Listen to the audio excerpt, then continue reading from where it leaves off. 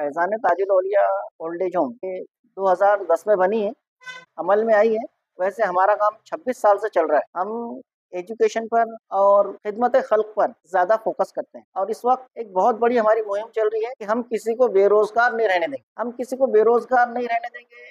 तो इसके लिए जो जिस कंडीशन का है, जिसका जैसा एजुकेशन है, जो बेरोज़गार है, जिनको कोई रास्ते नज़र नहीं आते तो अल्हम्दुलिल्लाह अल्लाह के फजल है कि आज हमारे ऐसा माहौल बन चुका है, ऐसे लोगों से कांटेक्ट हो चुके हैं कि हम हर किस्म के बेरोज़गारों को रोज़गार से लगाने की हमारी प्लानिंग बन चुकी है।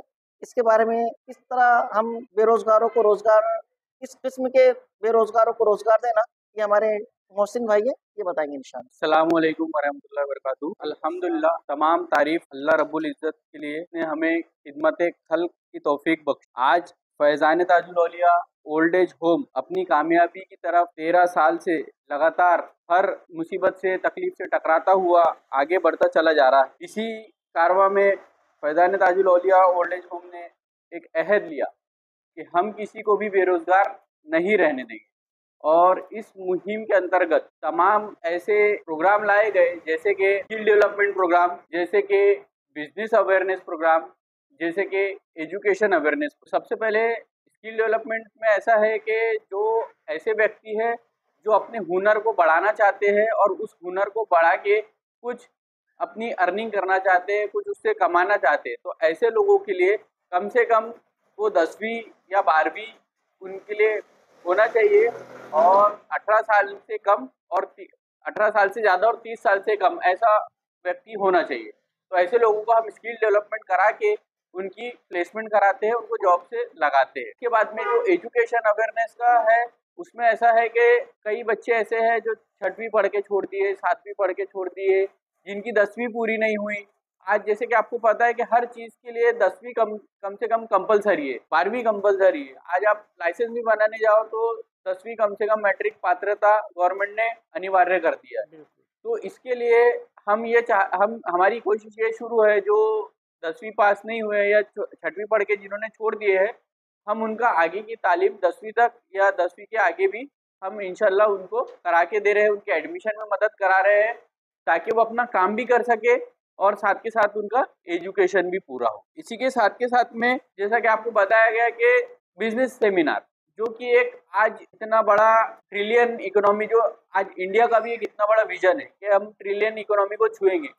तो एक उस विजन को हम देखते हुए हम ये चाहते कि हमारे कौम से भी कुछ बच्चे, कुछ नौजवान आगे आए और अपने बिज़नेस को आगे बढ़ाए। और इसमें ऐसा नहीं कि सिर्फ़ जो बिज़नेस कर रहे हैं उनके लिए। ये बिज़नेस सेमिनार ऐसे लोगों के लिए रखा गया जिनके अंदर इच्छा है बिज़नेस करने की और अपने बिज़नेस को आगे बढ़ाने की। फिर चाहे उनका बिज़नेस हो, चाहे ना हो या वो नया स्टार्टअप करना चाहते। और इस, इसका हमको बहुत बड़े पैमाने पे प्रतिसाद मिला, बहुत इसका हमको सपोर्ट मिला। काफ़ी सारे बच्चे हमारे साथ आए, काफ़ी सारे नौजवान ऐसे आए जिनका ऑलरेडी बिज़नेस चल रहा है और उस प्रोग्राम में उनको बताया गया कि आपका फाइनेंस फाइनेंस मैनेजमेंट कैसा किया जाए। आप बिज़नेस को, नया अगर आपका बिज़नेस नहीं है और आप बिज़नेस चालू करना चाहते हो तो उसके लिए क्या क्या आपको तरीके अमल में लाने ज़रूरी है? और आपको बिज़नेस में जाने के बाद क्या क्या लाइसेंस ज़रूरी है, उसका मैनेजमेंट कैसा करेंगे, ये सारी बातें उस प्रोग्राम में बताई गई है। और आगे भी हमारी कोशिश ये है कि ये प्रोग्राम होने के बाद जो जो इसमें सहभाग हो चुके हैं जिन जिन्होंने इसका फ़ायदा लिया है उनको और आगे हम कैसा बढ़ा सके उनके लिए और आगे हम क्या गवर्नमेंट की स्कीम में ला सके वो हमारे प्रयत्न रहे। अभी हमारे सामने फैजान ताजुल ओलिया ओल्ड एज होम के सदर मौजूद है। हाजी साहब मुझे ये बताइए कि आपकी जो संस्था है ये किस तरह का काम करती है? हमारी संस्था फैजान ताजुल ओल्ड होम। के तेरह साल, छब्बीस साल से काम कर रही है। इसने शादियों के प्रोग्राम, गरीब जो रोडों पे पड़े रहते हैं जिनके वारिस नहीं होते, उनको अपने ओल्ड एज होम में लाकर उनकी खिदमत करने का काम सलाह से करते आ रही है वर्षों से। और तेरह साल से एक और नया ये चालू किया। हमने जो अभी गवर्नमेंट ने स्कीम लाई है कि बच्चों को कैसे आगे बढ़ाया जाए। हम्म। इसके ऊपर हमारा पूरा फोकस है। हम चाह रहे हैं कि हमारी कौम के जितने बच्चे हैं वो इस इसमें शामिल होकर आगे बढ़ने की अपनी ताकत पैदा करें। उस इसमें हम पूरा प्रोग्राम कर रहे हैं। और उनको जितना आगे बढ़ाने की उनकी हिम्मत है उसके तक पहुँचाने की कोशिश कर रहे। हैं ये हमारा डेवलप और आगे अब शादियों का प्रोग्राम भी हमारे मार्च में होने जा रहा है जिसमें इज्तिमाही शादी। इज्तिमाई शादी का प्रोग्राम होने जा रहा है। मई में रखा गया है। तो भी हम कंप्लीट तेरह साल से करते आ रहे हैं। और माशाल्लाह अल्लाह का करम बाबाजान का एहसान है कि हम कामयाब हो रहे हैं। हमारी जितनी अड़चने सरकार पूरी कर रहे हैं हमको उन पे पूरा भरोसा है, हम आगे बढ़ते जाएँगे और हम कौम से भी करते हैं कि कौम भी इसमें ज़्यादा से ज़्यादा अपने बच्चों को आगे लाने के लिए खुद उनके वालदेन का काम है, उनके वालिद का काम है कि अपने बच्चों को कैसा आगे बढ़ाना जब सामने लोग ऐसे खड़े हुए उनके पास ले जाके उनको आगे बढ़ाने की ताकीद करे और उनके पास पहुँचाए, खुद लेके जाए, बच्चों में हिम्मत नहीं है, खुद लेके जाए। और खुद उनको ये करके आगे बढ़ने की उनको हिम्मत अफजाई करे। किन किन दुश्वारियों का किन किन तकलीफों का आपको सामना करना पड़ता है? आदमी की क्या है हस्ती जो किसी काबिल बने वो जिसे चाहे चराग महफिल रौनक बने। अल्लाह रब्बुल इज़्ज़त का करोड़ा करोड़ एहसान अजीम है कि अल्लाह ताला ने सरकार ताजुल औलिया के सदक़े में ऐसे ऐसे हमको हीरे दिए जो हमारे हर मोड़ पर हर कठिनाई और हर बुरे वक्त और हर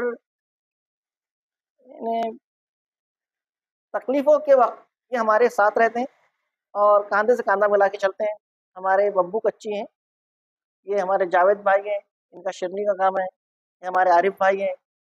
ये हमारे शोएब भाई हैं जो पूरा कैंसर पीड़ित सहायता केंद्र चला संभालते हैं। ये हमारे हाजी साहब खादी में सरकार ताजुल औलिया के ये हमारे मोहसिन भाई हैं स्किल डेवलपमेंट की पूरी ज़िम्मेदारी इनकी तरफ़ है। ये हमारे जावेद भाई हैं पूरा मदरसे का जो सिस्टम है वो चलाते हैं। ढाई सौ बच्चे तकरीबन हमारे फैज़ान ताजुल ओलिया ओल्ड ओल्ड मदरसे में तालीम हासिल करते हैं। हमारे जो बच्चे स्कूल पढ़ रहे हैं और गरीबों के बच्चे हैं जो ट्यूशन क्लासेस की फ़ीस अदा नहीं कर सकते उनके लिए फ्री ट्यूशन क्लासेस खोल चुके हैं। ये मतलब सात महीने से चल रही है। ऐसे बच्चे जो दूसरी जगह ट्यूशन नहीं कर सकते। आज एजुकेशन का मामला ऐसा है कि हर किसी को ज़रूरत पड़ गई है ट्यूशन करने की और वो बेचारे नहीं कर पाते हैं तो उनके दिल नर्वस होते हैं या अच्छे मार्क्स लाने के बावजूद, अच्छे टैलेंट होने के बावजूद वो बेचारे नर्वस हो जाते हैं। तो ऐसे बच्चों को उठाना ये हमारा मकसद है। न कर मोहताज मुझको किसी का ज़माने में न कर मोहताज मुझको किसी का ज़माने में कमी है। कौन सी यार अब तेरे ख़जाने में हमने ये ठान लिया है कि अब बहुत हो चुका है। हमारी पूरी ताकत बच्चों को जज बनाने में, बच्चों को लॉयर बनाने में, बच्चों को इंजीनियर, डॉक्टर, जो बच्चा जिस लाइन में इंटरेस्ट रखता है, हमारी पूरी ताकत उनको उठाने में लगी हुई है। ऐसे जितने बच्चे हैं जो आगे बढ़ना चाहते हैं, लेकिन हालात और पैसा और गरीबी उनको रोक रही है हम उन तमाम हालात से लड़ने के लिए तैयार हमारी टीम बैठी हुई है अल्हम्दुलिल्लाह। मतलब मतलब ये सीधी सीधी बात कि आप कुछ नहीं कर रहे अपने बच्चों के लिए हम करेंगे आपके बच्चों के लिए। बहुत सही बहुत सही। इसी तरह आज हम देख रहे हैं कि माशरे में डर और खौफ का माहौल है। बेशक।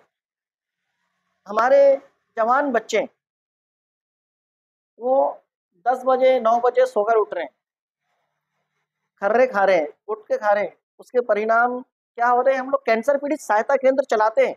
हमको मालूम है जब इनको कैंसर होता है ना तो फिर इनकी जवानी पर तरस आता है। हम्म, और फिर वो कितना भी तौबा कर ले कर ले लेकिन जब बीमारी एक बार लग गई तो हम्म, क्या कर सकते तो ये जो नशा हो रही है बिल्कुल इसके हम सख्त खिलाफ हैं और इसको खिलाफ रहने तो है बोलना लेकिन इसका तरीका हमने ये निकाला है कि अपने बच्चों को जो पंद्रह साल, सोलह साल हैं, उनको पुलिस भर्ती पूर्व प्रशिक्षण केंद्र फैजान ताजुल ये खुल रहा है। इसके पहले भी हम बारह साल पहले चला चुके हैं, लेकिन कुछ हालात की वजह से हमको खामोश बैठना पड़ा। लेकिन अब इंशाल्लाह हम खामोश नहीं बैठेंगे। अपने बच्चों को हम एक मिलिट्री मैन के रूप में देखना चाहते हैं, अपने जवानों को एक पुलिस के रूप में देखना चाहते हैं। तो इसके लिए हम पंद्रह, चौदह साल, पंद्रह साल के जो बच्चे हैं, उनको पकड़ रहे हैं, उनके एडमिशन करा रहे हैं, उनको ये जो मिलिट्री के रिटायरमेंट है, है ये हमारे कई हमारे कांटेक्ट में आ चुके हैं वो इनको ट्रेनिंग देने के लिए तैयार है। दुनिया में अच्छे लोगों की कमी नहीं है। बिल्कुल। अच्छे अच्छे लोग हैं जो कौम की खिदमत करना चाहते हैं अपनी कौम को एक बहादुर कौम देखना चाहते हैं। लेकिन हमारे मुआशरे की क्या हालत है आपको सब मालूम है लेकिन हम अब रुकने वाले हैं नहीं इन और हमारी ये पुलिस भर्ती पूर्व प्रशिक्षण केंद्र, ये बहुत जल्दी चालू हो रहा है और हम अपने जवान बच्चों को जो पंद्रह, चौदह साल, पंद्रह साल, ये उम्र से ही इंसान नशे की तरफ़ रागिब होता है। यही उम्र में पकड़ के उनको फ़िज़िकल एक्सरसाइज में हम ऐसा लगाएँगे, ऐसा मसरूफ करेंगे, उनका टैलेंट ऐसा बनाएँगे कि वो एक बहादुर कौम बन के इनशाला कौम का सिपाही बन के, देश का नागरिक बन के उभरेगा और देश के हर दुश्मन से मुकाबला करेगा, ये हमारी कोशिश है। बाबा ताज, बाबा ताजुद्दीन जो है अरे रहमा, आपसे क्या क्या काम करवा रहे हैं? ये उनकी इनायत है, उनका करम है। करम है ताज वाले का, इनायत ताज वाले की, खुशी हासिल हुई हमको, बदौलत ताज वाले की। इस रास्तों में जो हमको तकलीफ़ें आती है ना, वो हमको ऐसा फूल लगते हैं। और बड़ा सुकून मिलता है अच्छा लगता है। और ऐसे इन मामला में जो तकलीफ़ें आती है मुसीबतें आती हैं तो इससे हमारे हौसले और बुलंद होते हैं। इज्तिमाही शादी का क्या है जो अभी आने वाली है इज्तिमाही शादी आप पाँच मई 2024 को इज्तिमाही शादी है। इसमें हमने छब्बीस सौ रुपये फ़ीस रखी है लड़की लड़के के Aadhaar card living electric bill ले रहे हैं। और ये इज्तमाही शादी का मकसद गरीबों की शादी कराना नहीं है। ये इज्तमाही शादी का मकसद है, कौम की बाइज्जत बच्चियों और बच्चों को दूल्हा और दुल्हन बनाना है। हम, हमारे बैनरों पर आप देख लीजिए इज्तमाही शादी के उसमें लिखा है, चंदा देना लेना मना है। ये इसलिए मना है कि हम कभी बर्दाश्त नहीं करेंगे कि कोई सांस अपनी बहू को कहे कि तेरे बाप ने तेरी शादी चंदे में करी। कोई यानी शोहर अपनी बीवी को कहे कि तेरे बाप ने तेरी शादी चंदे में करी। हमारे यहाँ गरीबों वाला काम नहीं रहता है सब कौम की बाइज्जत मोहतरम एहतराम के काबिल बच्चियाँ हैं बच्चे हैं हमारे सर के ताज हैं और इज्तमाही शादी में कोई गेस्ट नहीं रहता सिर्फ़ चीफ गेस्ट दुल्हन और दूल्हा ही रहते हैं। माशाल्लाह। सरपरस्ती सरकार ताजुल